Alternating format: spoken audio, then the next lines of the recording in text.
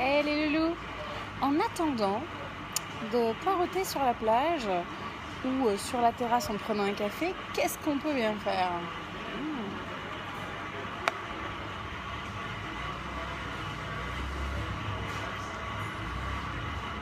Travailler ses quadriceps, bien sûr.